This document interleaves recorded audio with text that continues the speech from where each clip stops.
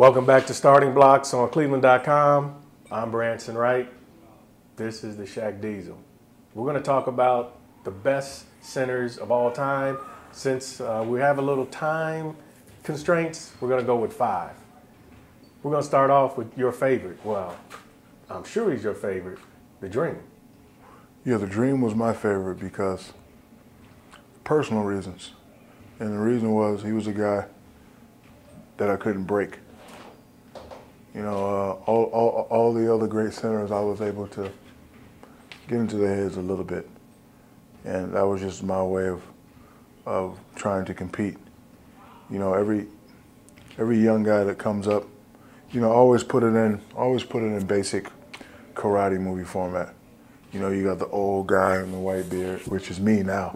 You got the old guy in the white beard. Shaq Fu. Yeah, Shaq Fu. But then you got the young guy that's coming up. So in order for you to be the master, you have to beat the master. So, I mean, I always knew these Patrick Ewing and Akeem and, and Chief. I always knew these guys were a hundred times better than me, but I didn't want them to know that. And then I wanted their spot. So you know, I wanted their spot. So the five best centers, I'm, I'm glad you, you had, I had to write them down. Akeem to me is is number one But why couldn't you break him? because I couldn't get into his head. I remember one time I gave him a bow and he just laughed. nice, nice, nice elbow, brother. And then he came down and gave me a and, and shot a crazy fadeaway. Yeah, he gave me one of them.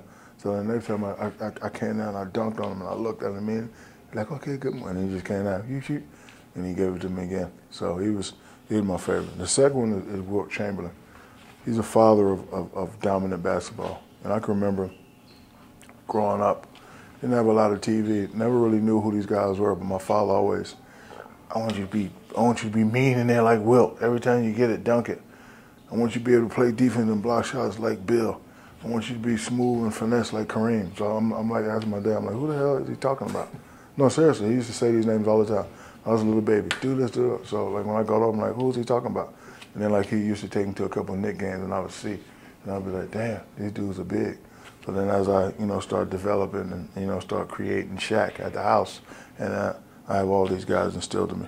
Why, why Third- people compare you a lot to Wilt? because he was dominant and you know they changed the rules for him. You know they complained about him a lot. You know he was goliath and they just so i'm i'm like the i'm like the last coming of wilt. Because after me there will be no more. You realize that right? No after sure. me I'm no sure. i'm telling you. Don't don't be Hold not on, sure. i'm telling third no grader in, no Minnesota. well, well you know what? When i see him i'll be the first one to say you know what? Welcome my son welcome my son the third one is kareem no kareem uh 38,000 points. You know, right now I'm at like, you know, 27, and like I always brag to my son, man, I got 27,000, because, you know, my son was like, you can't even shoot. And I was like, son, I don't need to shoot. I got 27,000. So one day my, my son's working the internet now. He said, but daddy, Kareem got 38,000. So I just tell you how great of a player he was. Five championships, nice guy. Did you ever think about? I did, you know, when I was, you know, when I was little, I did think about that, but because I'm a, I'm a hip hop kid, I wanted to come with something more cool, and that's why I always went with the jump hook rather than the little old school sky hook. Fourth one is, is Bill Russell. Wait, just because of the rings, or what other Ju- reason? Just, to Bill? just because of the rings, Mm-hmm. and just because he's he's he's one of the nicest men in the world. Uh, believe it or not, I never really had never really had any type of relationship with Mr. Chamberlain, rest in peace, Mm-hmm. or Mr. Kareem, which is fine with me. But you know, Bill Russell was always nice to me. We used to sit down, we used to have Starbucks together, and he used to tell me old stories, stories I didn't know. Like I bet you a lot of people don't know that Sam Jones has ten rings. I didn't even know that. Like he used to tell me about you know times where they couldn't check it on, you know stuff that stuff that I would never know. Didn't have a TV. Came up in the hip hop era. Mm-hmm. Anything after Dr. J, I'm a master. Anything before Dr. J, you know, someone has to tell me. So How would you have done against Russell? I would hold my own. But, you know, it's kind of unfair to compare a Phantom of his time against the Phantom of this time. Because if you look at all the Phantoms of old times, we take what they mastered and then add a little new technology. So I'm just a new school, well, I'm an older school Phantom now, but Old school, new yeah, school. yeah, I'm an old school, new school Phantom, but you know, it's kind of hard to compare. But I think if we grew up in the same time, would have been the same thing. Been fun though, right? Yeah, would have been fun. And the last one is Big Moses. strong, dominant, fo fo fo.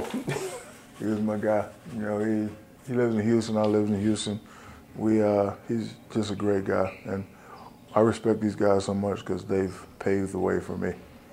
But uh, can't forget about Mr. David Robinson. Can't forget about Chief Robert Parish. You can't forget about Jack Sikma. But is Robinson you can't a, forget a, is Robinson a center yeah, or he was. forward? No, he was. He was a center. What made him a center? He was tall. He's seven it? foot and over, yeah. Seven foot over. And a very humble guy because at a young age when Tim Duncan came, he realized that Tim was a little better and he said, Tim, I'm gonna make you the man. Not a lot of guys do that at his age, but he's you know, it's that Navy discipline. He realized that, hey, I'm gonna ride this this new young horse we got by the name of Mr. Duncan, and it's gonna get me three rings. Since you're probably the last of the Mohicans or the Shaqhicans, is, does that concern you? Nobody's coming up. Not really. You know, the game is the game is uh, different now. You know, a lot of guys rather uh, step out and shoot the jumpers. Now, one thing I, I, I tried to do when I when I came in was I wanted to be different.